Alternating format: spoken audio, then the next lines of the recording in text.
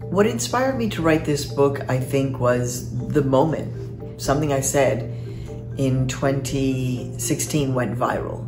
I said there is no such thing as an illegal human being, or illegal is not a noun in reference to illegal immigrants, a term I don't use. And someone said, you know, you should write that book. And that was the original idea of the book.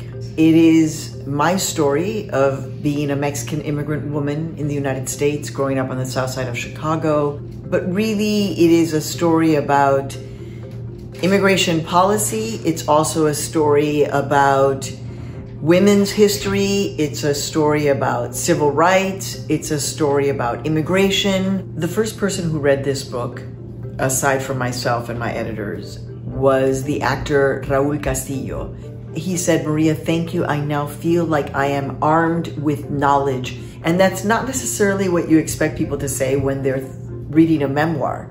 I, I hope that people come away with one, knowing me, knowing my heart a little bit. I try to share my battles with ego and insecurity and the imposter syndrome and not feeling good enough, um, and yet overcoming that.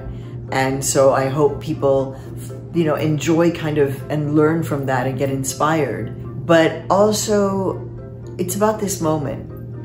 And I'm I'm proud that I'm sharing this with people who live in this country and the rest of the world.